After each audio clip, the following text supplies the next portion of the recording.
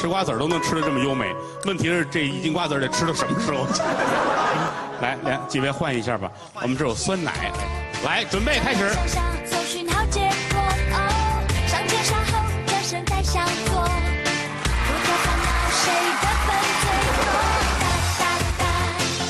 这一回合我儿子胜了，看我们孩子喝的多热闹，满脸都是。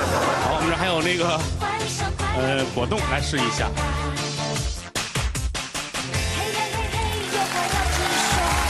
们看到了李佳怡吃东西很优美，也看到了我们这俩孩子吃东西多没人样儿的是啊。今天我们为了李佳怡还特意准备了一个小小的游戏什么游戏？啊，既然跟嘴唇有关嘛，我们今天搞一个看口型猜字意，很简单，我们一个传一个，只是张嘴不出声音，下一个人猜你说的是什么，然后再说给别人。准备好了没有？啊，好了好了好了，来，开始。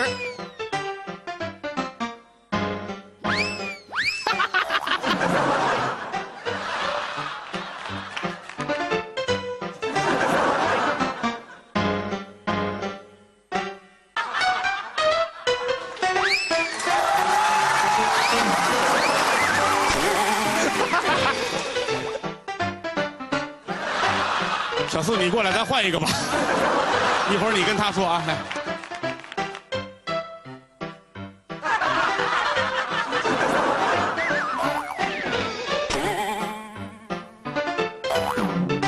好了，说完了。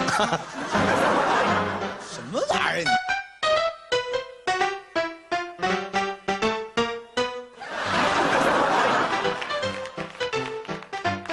张云雷都傻了。来吧，告诉我们他说的什么？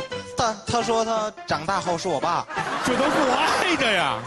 郭麒麟，你听的什么？我说，你说我想不想当你爸？你看你看是不是是不是？小四，你你听你听成什么了？你想参加相声大赛吗？你们这还是工作的事儿，我听的这个都快打起来了。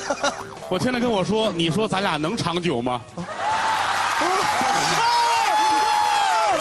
我冷汗都下来了。根本就不是这个意思。等会儿别着急，你刚才跟我们说你说的是什么？嗯，郭老师听对了，我说的就是你说咱俩能长久吗？大后边，你跟他说的什么呀？我说，你说咱俩能相守吗？想说。